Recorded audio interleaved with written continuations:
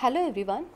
In the last lecture we have seen the classic information retrieval model that is Boolean model. Today we are going to learn vector model. So learning outcome for this session is students will be able to create vector model and retrieve the documents for a given query using vector model. Now in Boolean model we have seen that there is no notion of partial matching or since the weights are binary we are going to we are getting a result either relevant or non-relevant. So that is giving you the too many documents or it is giving you the exact matching over there.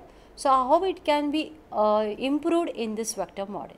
That's why the weights are considered as a non-binary weights and the positive weights. So here the pair is ki and dj it is nothing but the weight of keyword ki in document dj so all the index all the weights that we are defining are non binary in between 0 to 1 also we are going to assign the weights for the index terms in the query. That is nothing but here wiq so weight of the keyword uh, ki with respect to query q which is also again greater than or equal to 0 and less than or equal to 1 so how it will be query vector? Weight of every term that is first term, second term up to assuming that there are t terms with respect to query. And the vector for the document will be w1j, w2j up to wtj. It is nothing but the weight of all the t terms with respect to document j. Okay. So, in Boolean model we have seen that this weights will be either 1 or 0, but here since it is non-binary, what is our task is that to find the weight vector based on the frequency or the occurrences. Now, we, what we have obtained now the two vectors, one is a document DJ vector and the second one is user query vector in t dimensional space. So, what is the degree of similarity or which documents it will be retrieving? So, vector model proposes to evaluate the degree of similarity of document DJ and query Q as a correlation between these two vectors. As you can see, there are two vectors. This is the DJ vector and the Q vector and this correlation will be given by the cosine of theta where theta is the angle in between these two. If you can simplify this, this dot product of the vectors which will be converted into terms of the weight vectors of document and query that we have entered. So, we can see that as the distance or the as the angle is less then document is more similar. If the angle is increasing document is not that much similar okay because we are going for here approximate matching and if exactly this q and document dj vector are same means they are exact similar. Okay this is how we are going to calculate the degree of similarity of this document. So you can consider this as a ranking function of a vector model. So let us see how to create the weight vectors and then find the degree of similarity for the given query. So here since the weights for both are varies from 0 to 1 we are going to get the degree of similarity also in between 0 to 1 and that's where we can call that the vector model ranks the documents according to the degree of similarity. So some of the document may get the similarity as 0 0.9, 0 0.8, 0 0.5 and so on okay which is in between 0 to 1 and more is the value more is the relevance over there. And that's why we call we can call it as a vector model partially match the documents.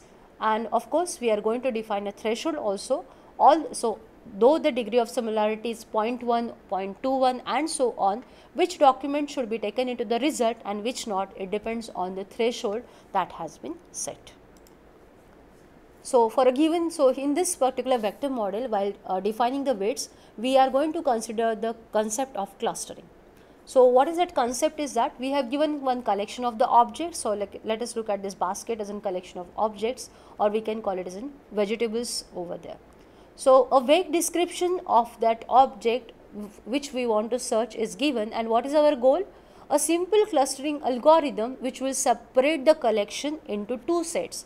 What will be that two sets? One set will composed of the objects related to set A and second will be composed of the object which are not related to set A. For example, here I am finding the uh, vegetables which are comparable to carrot. Okay, so comparable to carrot means that either it can be the fruit vegetable or lengthwise. So, for example, this uh, uh, what you can say that this spinach or some leafy vegetables will not come into the category. Or what I am saying is that I want all the vegetables whose length is uh, similar to carrot something like that. So this is a description that I am giving. Of course when this is the onion that will be separated into the second set or but when we are looking for this some cucumber or this bottle gourd or something like that it will come into the category of the carrot.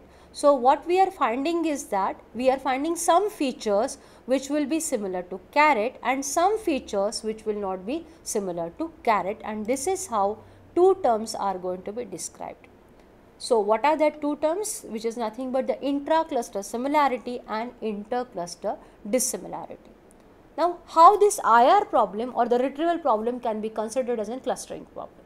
So, here we are given in collection of the objects is nothing but our documents or the collection a text collection and our vague description is nothing but the query what you want to search that is nothing but your description of the object. So, what the IR problem can be reduced to is that finding the documents which are in the set A that means which are similar to this user query and which are not in the set A. Okay, this is how we can find.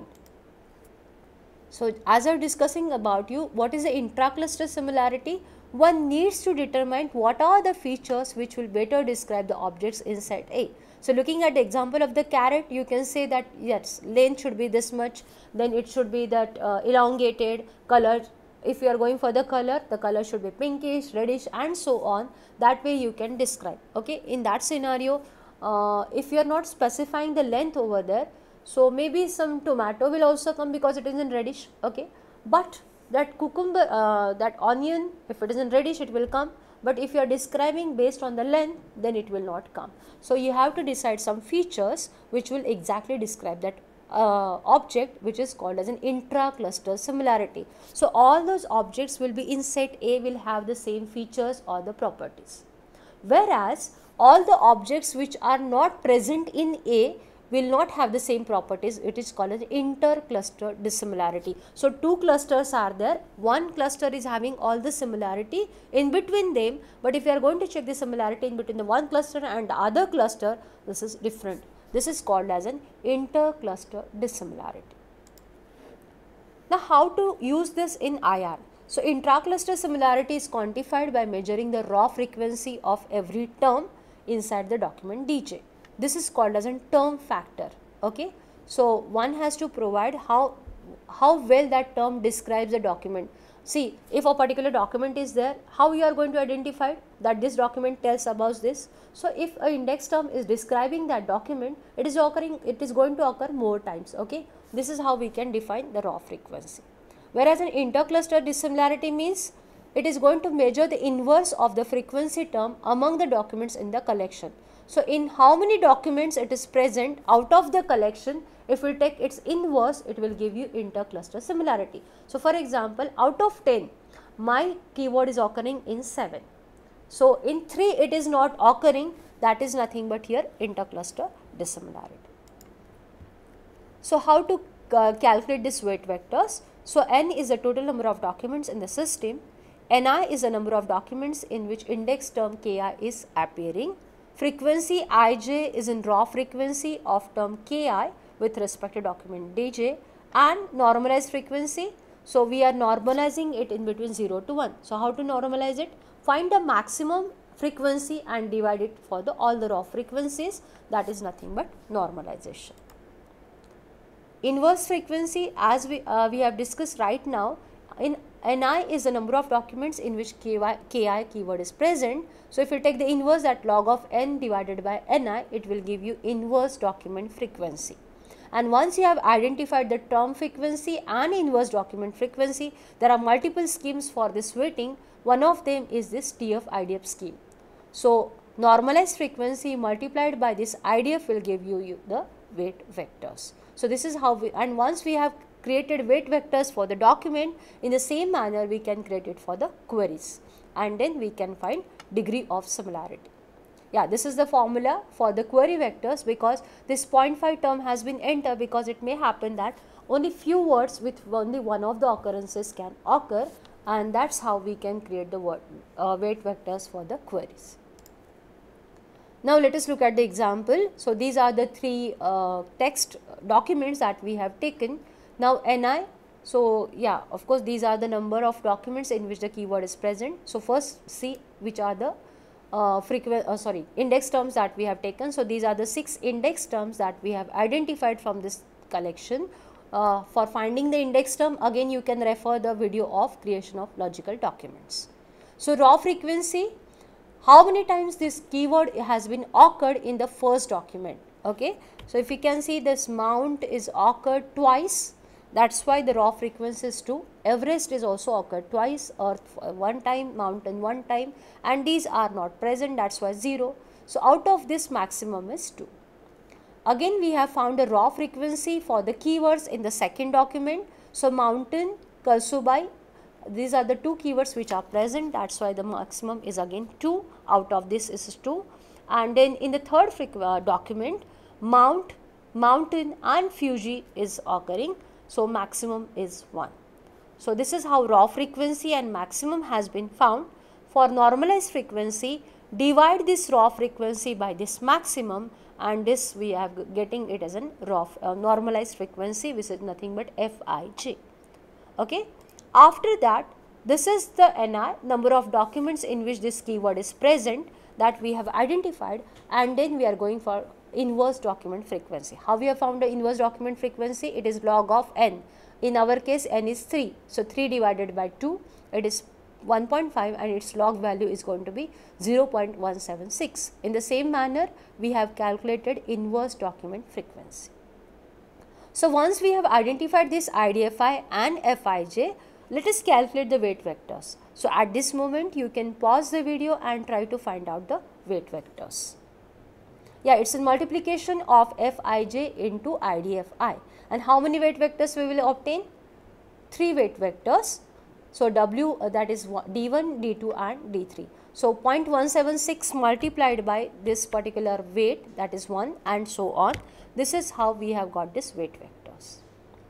In the same manner, we have to calculate the raw frequency for this query. So, assume that our query is Mount Kalsubai where mount and Kalsubai is occurring only one remaining are 0 and only one time. If it is occurring more than one time you can give 2, 3 as many as occurring. Maximum is 1 that is why the raw frequency and normalized frequency will be same. IDF factor will be same as we have calculated for the document and then we can go for calculation of this weight vector for query. And once we have calculated this weight vector and query vector, uh, weight vectors for the document and query, we can calculate a degree of similarity. If you remember the formula, it is the weights which are present in the query. So, the weight of the mount and weight of the mount in document and query, whereas the second uh, keyword is Kalsubai which is not present, that is why it is 0. Divided by the square root of squares of summation of all the uh, weights of the keywords in the first document and weights in the query. So, this part will be common everywhere only this part is changing.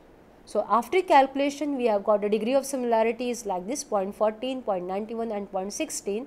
So, the most relevant document is 0.91 that is D2. So, ranking how we will be doing D2, D3 and then D1. Here we are not considered threshold, but this is how we can rank the document. So, we have to calculate this degree of similarity for every document.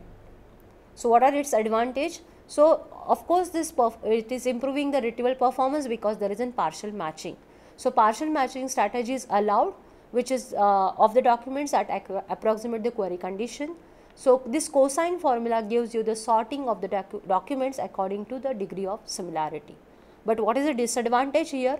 Index terms are assumed to be mutually independent. We have not considered any dependency of the keywords right now. So, this is how vector model works. Thank you.